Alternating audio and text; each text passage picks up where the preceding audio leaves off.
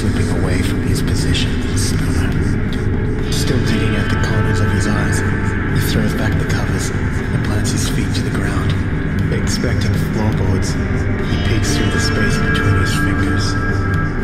He gives his eyes one last rub before accepting there are no floorboards.